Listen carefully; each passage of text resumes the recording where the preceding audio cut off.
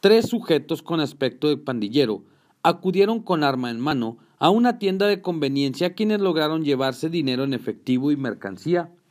Los hechos ocurrieron en la colonia Vista Hermosa, sobre la calle 22, donde según los empleados comentaron que acudieron los sujetos y les pidieron que se tiraran al piso y si cooperaban no les iba a pasar nada. Uno de ellos se dirigió a la caja, quien logró sacar el dinero y en una bolsa colocó mercancía como cigarros y demás artículos. El otro sujeto cuidaba la puerta.